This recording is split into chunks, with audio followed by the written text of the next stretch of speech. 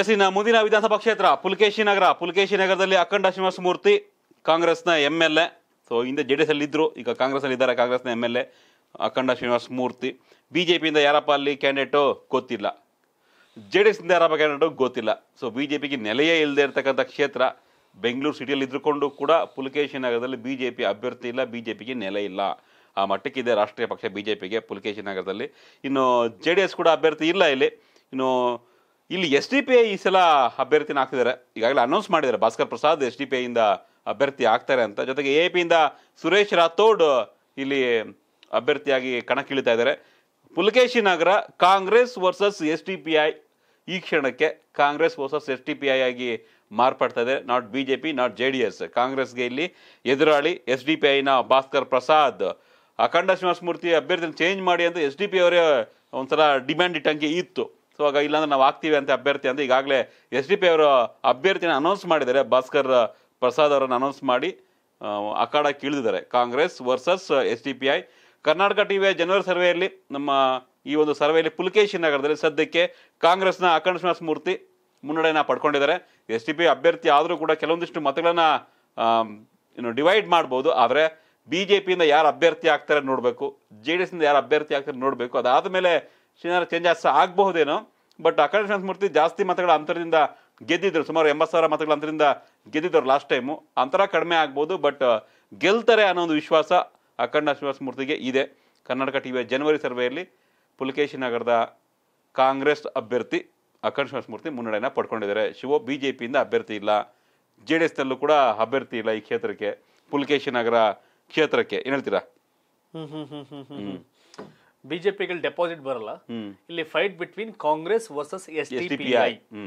ಮೂರನೇ place Aam Aadmi Party. Aam Aadmi and ಇನ್ನೊಂದು ವಿಚಾರ ಅಂತಂದ್ರೆ ಇಲ್ಲಿ ಅಖಂಡ ಶ್ರೀನಿವಾಸ ಮೂರ್ತಿ ಟಿಕೆಟ್ ಕೊಡಬೇಡಿ.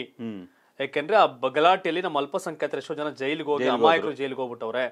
ನೀವು ಅವ್ರಿಗೆ ಏನಾರ ಟಿಕೆಟ್ ಕೊಟ್ರೆ ನಾವು ನಾಲ್ಕೈದು ಕ್ಷೇತ್ರದಲ್ಲಿ ಅಲ್ಪಸಂಖ್ಯಾತರ ವೋಟ್ನ ಎಗನೆಸ್ಟ್ ಕಾಂಗ್ರೆಸ್ ಮಾಡ್ತೀವಿ. ಅನ್ನೋ ಇದು ಮಾಡಿ ಭಾರಿ ಒತ್ತಡವನ್ನ ಹಾಕ್ತಾ ಇದ್ದಾರೆ. ಬಟ್ ಅಖಂಡ ಶ್ರೀನಿವಾಸ ಮೂರ್ತಿ ಟಿಕೆಟ್ ತಪ್ಸಿದ್ರೆ ತಪ್ಸಿದ್ರೆ ಹ್ಮ್.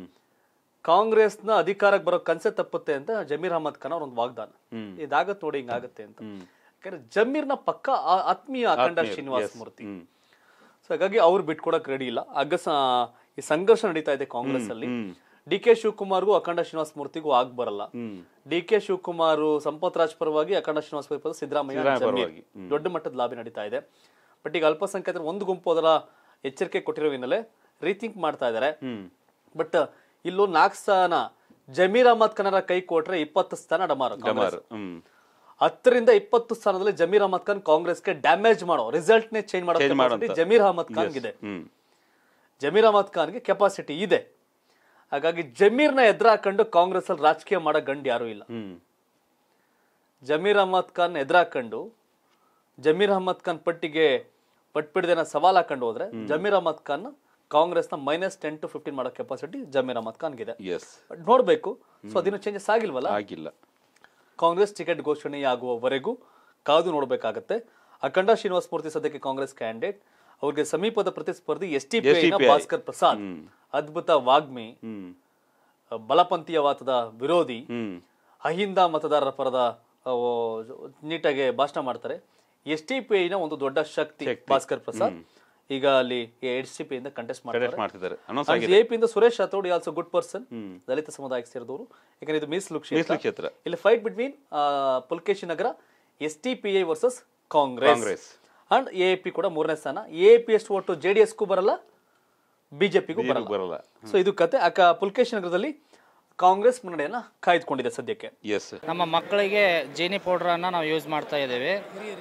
ನಂತರ ಇದು ಕೂಡ ಮಕ್ಕಳಿಂದ ಹಿಡ್ಕೊಂಡು ದೊಡ್ಡವರಿಗೆ ಕೂಡ ಈ ಜೀನಿ ಪ್ರಾಡಕ್ಟ್ ಸಿರಿಧಾನ್ಯದಿಂದ ಕೂಡಿರ್ತಕ್ಕಂಥ ಪ್ರಾಡಕ್ಟ್ ಆಗಿರೋದ್ರಿಂದ ನಮಗೆ ದೈಹಿಕವಾಗಿ, ಮಾನಸಿಕವಾಗಿ ಇಲ್ಲಿ ನಾವು ಸದೃಢರಾಗಲಿಕ್ಕೆ ಈ ಒಂದು ಪ್ರಾಡಕ್ಟ್ ನಮಗೆ ಯೂಸ್ ಆಗ್ತದೆ.